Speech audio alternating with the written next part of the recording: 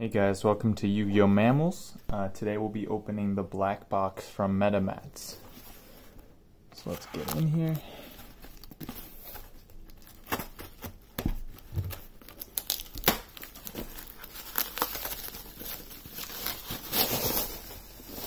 So here we go. Here we have the black box. You can see Construct chilling here.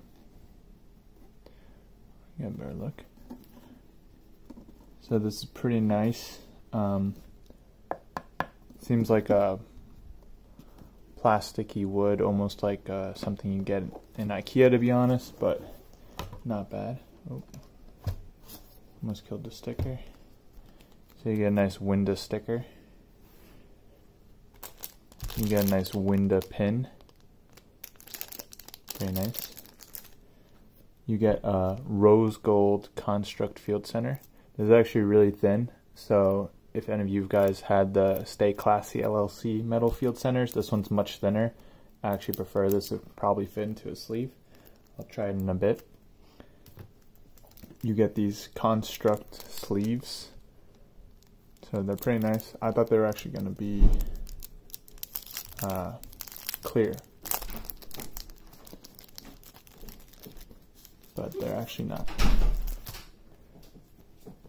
So you can see that they have some design on them and then they have silver on the inside. Uh, in here are some dice, if I can open them.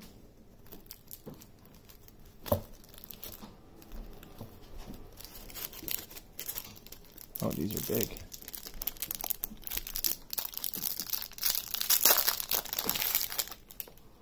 So they're both the same.